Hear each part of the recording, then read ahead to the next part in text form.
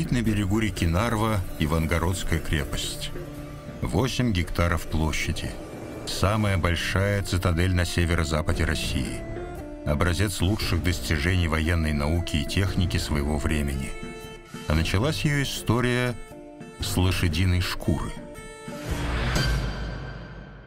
По легенде, русский государь Иван III гостил у Ливонского царя на противоположном берегу Нарвы – и попросил о сущем пустяке – продать часть земли.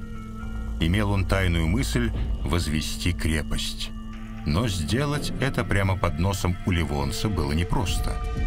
И русский государь убедил того, что просит самую малость – построить здесь лишь дозорный пункт размером с лошадиную шкуру. Ливонский царь посмеялся и говорит ему, ну мне не жалко, тогда бери и так – но и сюда, на Девичью гору, пригнали большого белого коня. Коня этого убили, сняли с него шкуру, Шкуру эту разрезали на тонкие длинные жгуты, связали между собой, получился большой клубок белых ниток. Этот клубок белых ниток разложили здесь, на Девичьей горе, что и послужило началом строительства первой крепости. Ивангород, выросший прямо напротив крепости Нарва, стал бельмом на глазу ливонского царя. А русский царь не унимался – пристроил еще одну крепость. Итальянские мастера спроектировали в ней укрепления по-особому, чтобы сами стены помогали защитникам и мешали захватчикам. Высокие ступени, винтовые лестницы, низкие своды и многочисленные ловушки. Однако во время Ливонской войны, когда по русскому северу огнем и мечом прошли шведы, все эти хитрости не помогли. Ивангород пал и оставался в руках захватчиков почти целый век. И вот настал час, когда на шведский престол взошел мальчишка, юный Карл XII. Петр I решил, что это очень удобный момент и можно вернуть свои земли. Русский царь объединился с датско-норвежским королевством и с Саксонией в Северный Союз – Союзники были уверены, что легко справиться со Швецией, во главе которой неоперившийся король. Да, многие европейские страны считали, что с ним, да вообще, вот сейчас-то как раз и можно от Швеции взять, остричь ее, как говорится, как барана, потому что, ну, король там 15-16-летний на престоле, а он оказался умен весьма и весьма воинственен. Амбиции шведского короля распространялись и на восток – Военную мощь русской армии тогда оценивали крайне низко. Россия считалась легкой добычей. Развитие вооружения, да и всей страны, требовало огромных вложений. Экономический рост был невозможен без стабильной торговли.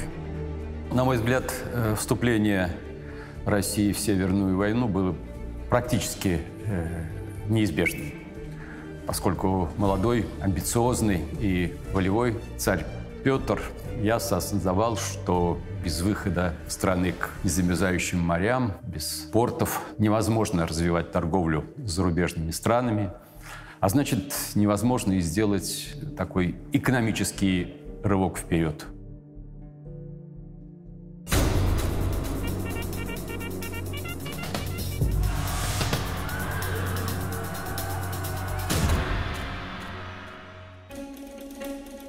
Россия вступила в конфликт последний. В августе 1700 года Петр I отправился в поход к Нарве, бывшей древнерусской крепости Ругадив. Он не знал, что Дания уже находится на грани выхода из едва начавшейся войны, а вскоре и саксонцы были вынуждены отступить. Карл XII получил возможность направить силы своей армии на русских, продвигающихся к Нарве. Чтобы выстроить службу на западный манер, Петр пригласил иностранных офицеров. Вскоре русский царь поплатится за это решение. Карл XII выдвинул армию в сторону крепости. Бой со шведами в открытом поле был неизбежен.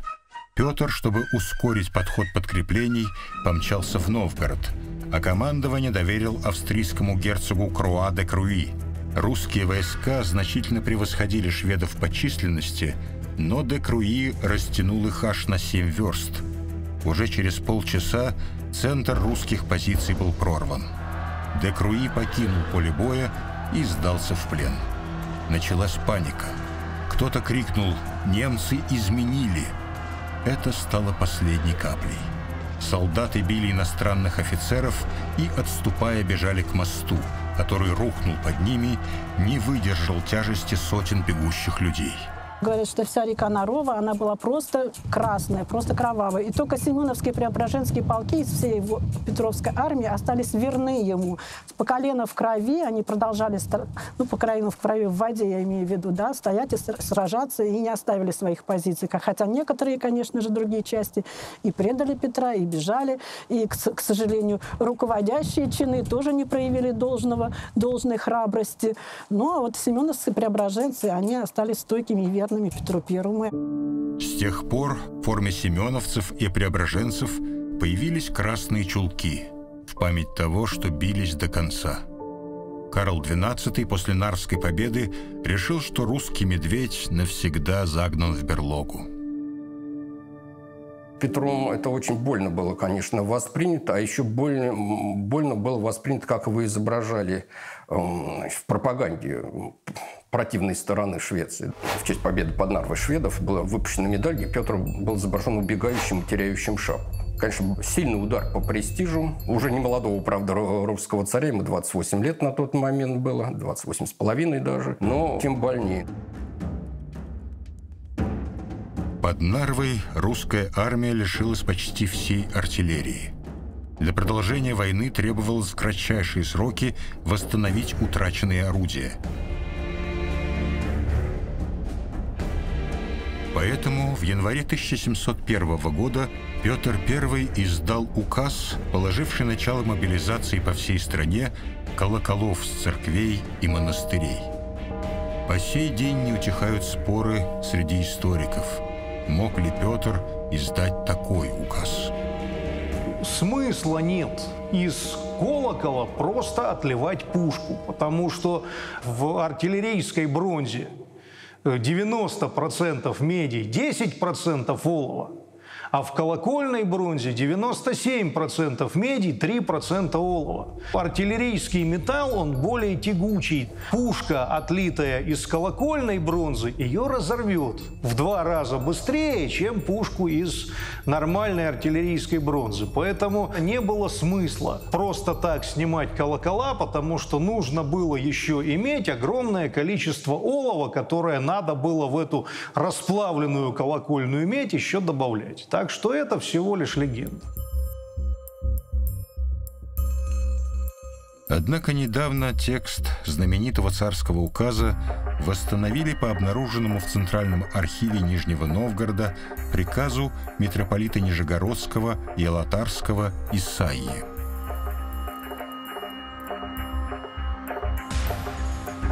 В нынешнем 1701 году, февраля в четвертый день, указал великий государь для нынешнего воинского случая в подмосковных монастырях и во всех городах у соборных и у приходских церквей, и в монастырях, и в отчинниковых селах у церквей взять на пушечный двор в пушечное литье из колоколов четвертую часть». Конечно, в первую очередь забирались старые или треснувшие экземпляры. Тем более не отправлялись на переплавку колокола, представлявшие историческую ценность. Когда Петру доложили, что из Троицкой лавры доставлен колокол с выбитой на нем надписью «Отлит в 1427 году учениками святого Сергия», царь распорядился вернуть его в обитель. Нехватка красной меди для литья орудий заставила собирать любую медную утварь. В дело шло все. От пивоваренных кубов до кастрюль. Раньше главными поставщиками металла были шведы. Теперь же нужно было развивать собственное металлургическое производство и промышленность. Разработку месторождений вели на Урале, в Карелии, на Дальнем Востоке. Скоро выяснилось, что российская руда прошла испытание на качество – Металл из нее получается не хуже шведского.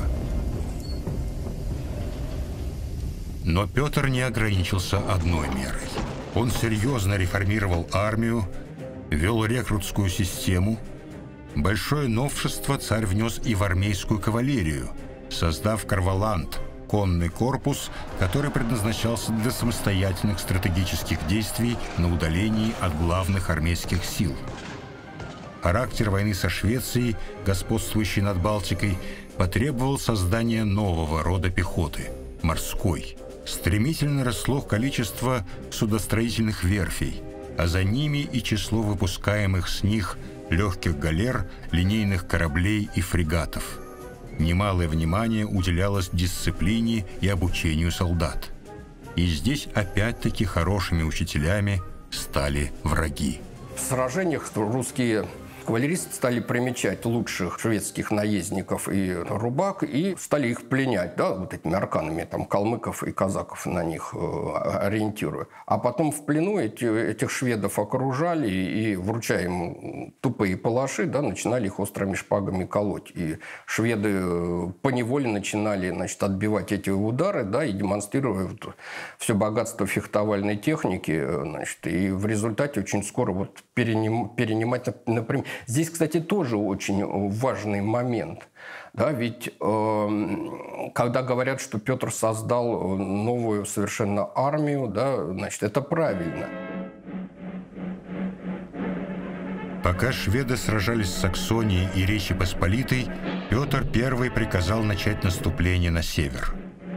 Русские войска под командованием Бориса Шереметьева вторглись в шведскую Ингерманландию – 30 декабря 1701 года ими была одержана первая в Северной войне победа, а вскоре была взята крепость Ниеншанс, которая располагалась на соединении рек Охты и Невы. К началу 1703 года все течение Невы оказалось под контролем русских войск. В ее устье Петр заложил новый город – Санкт-Петербург. Отсюда русский царь, по словам Пушкина, собирался грозить шведу и твердую ногою стать на море. Возведение русского города на еще вчера чужой земле под самым носом у неприятеля – это был неслыханный шаг. В этом практически сразу ведь докладывает Карл XII что на нашей земле, на нашей территории, в устье Невы, русский царь строит свой город. У Карла XII реакция очень показательная. Он сказал, пусть строит, мне достанется. То есть у, до поры до времени у Карла XII, по-моему, не было никаких сомнений, что война будет кончена его громкой большой победой, и здесь сомневаться не стоит. Для Петра война – это тяжелый труд, это трата тех ресурсов, которые ему нужны были, конечно, для э, преобразования России в промышленном, в торговом, сельскохозяйственном каких-то вопросах. Он к чему? Он там он ко всему он тянулся. Поэтому здесь вот, э, конечно, вот в этом отношении Карл XII и Петр I – это совершенно разные люди с совершенно разными приоритетами. Петр жаждал реванша. Нужно было показать врагу. Его армия оправилась после мощного удара и стала сильнее. В апреле 1704 года русские отряды под командованием Петра Апраксина заняли устье реки Нарвы. Шведский флот уже не мог доставлять в крепость продовольствие и подкрепления – в этот раз Петр решил сосредоточить силы только на взятии Нарвской крепости, не растрачивая их на осаду Ивангорода. В конце мая армия генерала Репнина переправилась на левый берег, заняв почти те же позиции, что и в 1700-м. Шведский гарнизон, как и четыре года назад, рассчитывал на помощь извне. И помощь пришла – Правда, подход шведской армии был хитро организованным обманным маневром. В мундиры противника нарядили драгун и солдат Семеновского полка. Маскарад все же не сработал. Гарнизон не дрогнул. Тогда к стенам крепости были доставлены осадные орудия. И вот эти крутые стены, это бастионы, которые построили шведы в свое время, да, архитектор Даленберг. И вот самый последний бастион, где стоит беседка наверху, это бастион Виктория. Тот фланг, который обстреливали э, наши семеновцы и преображенцы, да, их с этой стороны не видно, он за углом находится, да, то есть вот тот, тот фланг, когда пробила, была пробита брешь, тогда наши войска наши и переправились через э, Нарову. Э, Нарва была взята меньше, чем за два часа.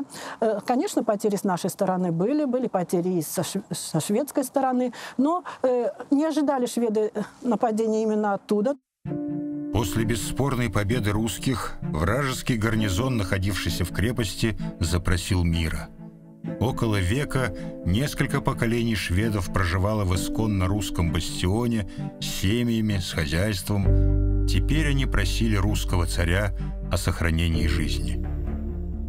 Потом требовали, чтобы им разрешили покинуть нашу крепость с оружием, но чтобы это было сделано достойно, да, с музыкой, с, ору с оружием в руках, там, э, с, э, со знаменами. Конечно, Петр I на это не пошел, но жизнь он гарантировал всем, и, покидая нашу крепость, шведские солдаты шли э, с разряженными оружиями, но штыки они держали в землю. Это, конечно, было очень унизительно для шведской армии, но стройно они прошествовали в сторону Нарвы и дальше ну, в сторону Ревеля. Таким образом, крепость наша Ивангородская без единой потери была освобождена Петром I. Иван-город вернулся на родину. Реванш был взят. Впрочем, Карлу XII понадобилось еще четыре года, чтобы оценить опасность русской армии. Он планировал вторжение в Россию и рассматривал два пути – через Смоленск или через юг Украины – к тому моменту боеспособность шведской армии заметно снизилась. Она испытывала острый дефицит провизии, который должен был восполнить корпус губернатора Лифляндии Адама Левенгаупта. Корпус выдвинулся из Риги вслед за шведской армией. Карл решил не тратить время на ожидание и двинулся через Украину. Вот, они на Украине-то отъесться собирались и отдохнуть как следует, а затем уже двинуться на Москву. А получилось так, что сперва вот этот рижский обоз был под Лесной, битва при Лесной настигнут русскими войсками и разбит на голову. Более 8 тысяч э, шведов потеряли там личного состава в битве при Лесной. Причем войсками руководил лично Петр I и Александр Данилович Меньшиков, его неизменный сподвижник. Вот. Шведы были на голову разбиты, и весь обоз захвачен. Более трех тысяч повозок с продовольствием, с боеприпасами и так далее, и так далее. В ноябре 1708-го, ослабленная долгим походом, голодом и болезнями, некогда сильнейшая в Европе шведская армия подошла к Полтаве. Карл, отчаянно верящий в свою звезду, жаждал генерального сражения. Но быстрый сценарий был невозможен. Семь месяцев шведский король собирал дополнительные отряды, укрепляя войска. И 8 июля 1709 года решающее сражение состоялось под Полтавой.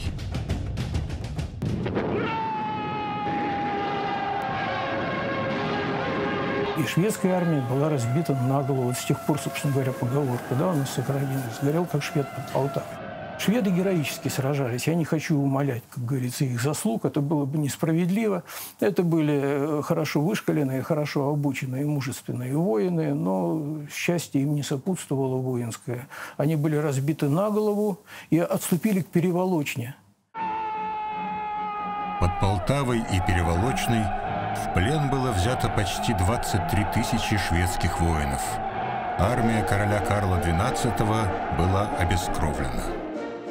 Сразу после сражения Петр I поспешил сообщить о победе над врагом своей возлюбленной, будущей жене Екатерине Алексеевне, находившейся в то время в лагерном обозе в селе Владимирском. «Матка, здравствуй!» Объявляю вам, что всемилостивый Господь неописанную победу над неприятелем нам сегодня даровать изволил. И единым словом сказать, что вся неприятельская сила на голову побиты, о чем сами от нас услышите. И для поздравления приезжайте сами сюда, Питер. Шведский король бежал в Османскую империю. Северный союз после триумфальной победы России был восстановлен, а Петровская армия двинулась к Балтике. В ее водах в 1714 году у мыса Гангут произошла баталия, названная Второй Полтавой, на сей раз морской. В абордажной атаке Петр I участвовал лично. Для солдат он стал примером мужества и отваги. Победа в Гангутском сражении обеспечила армии полную свободу в заливах, Ботническом и Финском. А Петр I после Виктории стал вице-адмиралом.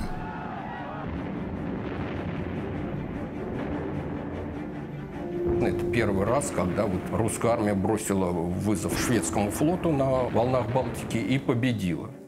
Значит, правда, ну, там были свои, свои нюансы, но все-таки это победа. Не случайно пословица появилась «русский орел мух не ловит». Потому что на выпущенной в честь этого афишки да, был изображен русский двуглавый орел, держащий в руках э, слона. Не мух ловит, а русский орел, а слонов. Да, потому что самый крупный шведский фрегат захваченный – это «Элефант», то есть слон был. Значит, здесь игра э, слов, но очень показательно. Для Петр вообще любил такие а, а, аллегории всевозможные. И, в общем, часто часто ими пользовался. Потом это будет Эзель, это первая победа русского флота в открытом море. Что вообще в изумление повергло шведов и в панику местное население. То есть они на себе почувствовали, что такое война, что такое война на их территории. И так продолжалось до 1720-21 года. То есть, с одной стороны, Россия хотела, конечно, заключить мир на выгодных для себя условиях. Швеция сопротивлялась. Они вообще, наши западные партнеры, очень неохотно идут на заключение разных выгодных для нас договоров. Карл XII погиб в бою от шальной пули. Но есть версия о заговоре подданных против короля. Так или иначе, нештатский мирный договор подписывали уже при его сестре – Россия вернула утраченные в прошлых войнах земли. Были присоединены Ингрия, Карелия, Эстляндия, Лифляндия. Столицей государства-победителя стал Санкт-Петербург. Через Балтийское море была налажена торговля с Европой.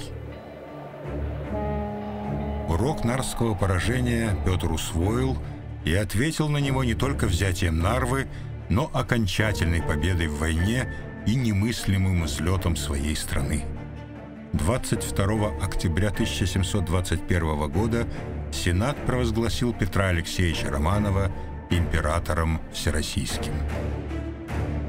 Для Петра I, конечно, Северная война стала, как он сам говорил, очень э, суровой школой, причем школой в прямом э, смысле этого слова, ведь он учился и военному искусству у своих шведских э, противников, отдавая э, должное побежденным учителям. Он э, учился и как дипломат. И, конечно, Северная война потребовала проведения очень глубоких реформ экономических, в военном деле, э, в управлении государством. И, конечно, для Петра это была огромная школа, ну и э, надо отдавать себе отчет в том, что война длилась более 20 лет. Это практически половина сознательной жизни Петра I. И из войны сам Петр вышел таким великим правителем России, э, политиком, с которым, конечно, уже не могли не считаться э, правители стран Европы, да и всего мира. Россия была превозглашена империей. Двуглавый гербовый орел стал символом силы и могущества. На гербах и печатях его стали изображать не с царской, а императорской короной. А позже на крыльях орла появились щиты великих княжеств и царств, входящих в состав государства. Он символизирует нераздельность европейской и азиатской частей страны под одной императорской короной.